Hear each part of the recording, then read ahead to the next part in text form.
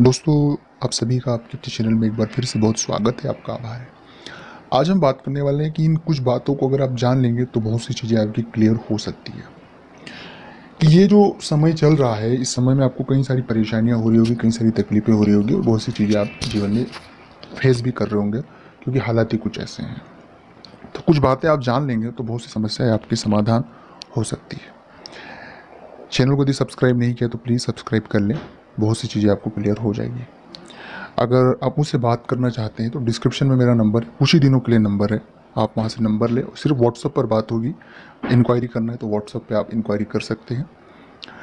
पहली और मुख्य बात है व्यापार के दृष्टिकोण से, और मैंने व्यापार पे एक अलग से वीडियो भी बना के रखा है कि व्यापार में जो हानि की कल्पनाएँ की जा रही है, जो नुकसान की कल्पनाएँ की जा रही है, उस पर आप इतना ध्यान ना दें। उसके पीछे कारण ये है कि जो होना है ये सब चीज़ें नहीं हुई है, पहली बार हुई है। हमें इससे निकलने के रास्ते पर जाना है। इसका क्या तरीका है निकलने का और दिमाग को शांत रखना है। जितना आप दिमाग को शांत रखेंगे, जितना कूल रखेंगे, उतनी जल्दी आप व्यापार में अच्छा ग्रो कर ग्रोथ कर पाएँगे और बाहर निकल पाएँगे। पहली बात। दूसरी बात है कि आप अपने व्यापार की तासीर को, अपने व्यापार को बहुत अच्छे से जानते हैं और अपनी चीज़ों को बहुत अच्छे से हैंडल करना जानते हैं। तो उन योग्यताओं को पूरा उपयोग लें। अपने पास जो भी मानवों का रिसोर्सेस है या जो भी चीज़ें उनका पूरा उपयोग करें, और फ़ायदा आप कमा सकते हैं। दूसरी बात है विवाह दाम्पत्य शादी, ये चीज़ें। इसके लिए आप टालें ना कि आप अगले साल करें या दो साल बाद। अभी बीस लोग, पाँच लोग, जितने भी लोगों का आपके एरिया में छूट है आपको, उन लोगों के साथ जाके विवाह को कर लें। इससे दो फ़ायदे, पहला तो आपका खर्च बच जाएगा, दूसरी बात है कि ये जो सिचुएशन है, ये लंबे वक्त तक चलेगी, और हम शादी ब्याह इनको टालेंगे नहीं, क्योंकि पहले ही शादी होना बड़ा टफ काम है फ़िलहाल। अभी हो रही है तो उसे कर ले। जल्द से जल्द जो भी पाँच लोग, दो लोग जाकर शादी करने के लिए सरकार ने छूट दी हुई है। वो गाइडलाइन को पालन करें और शादी कर लें, किंतु परंतु ना करें।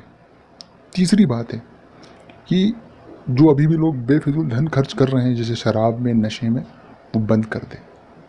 क्योंकि नशा जीवन का नाश है और अगर अभी आर्थिक हालात आपके ख़राब हुए तो कोई मदद भी नहीं करेगा।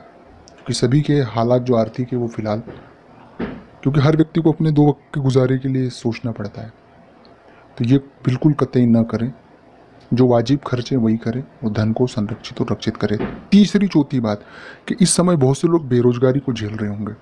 तो वो एक अच्छा रोज़गार की तरफ़ ढूंढे, न कि जो पास में सेविंग्स के पैसे पड़े उसे इन्वेस्टमेंट करके फंसने का काम करें। अगर आपको अनुभव है व्यापार का तभी करें। और नई अनुभव है, बिल्कुल लोगों के ऊपरी ऊपरी चीज़ें चल रही हैं। तो बिल्कुल व्यापार ना करें, इसमें आप सावधान हो जाएँ।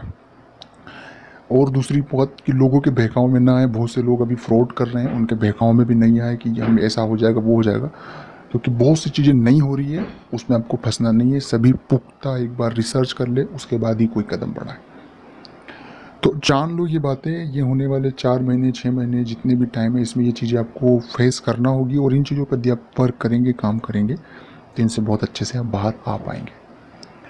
और किसी भी फ्रॉड में, किसी भी चीज़ में आपको फंसना नहीं है। चाहे जो भी हो, थोड़ा वेट करें। अगर बिज़नेस भी करना है, थोड़ा रिसर्च करें, फिर बिज़नेस करें। छोटी शुरुआत करें। चाहे ठेला लगाना पड़े, छोटा कोई सा भी काम करना पड़े, वो ज़रूर करें। जिसमें कम इन्वेस्टमेंट हो, ईमानदारी का काम हो, वो बिल्कुल करें। ईश्वर उसमें आपको तरक्की देगा और ईश्वर की यही इच्छा समझ के कोई भी काम हो, आप चाहे कितने पढ़े लिखे हो, उसमें प्रॉफिट है, धन है वो आप करें, उसमें शर्म भी ना करें।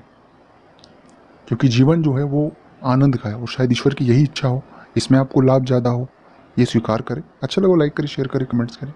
जय श्री महाकाल।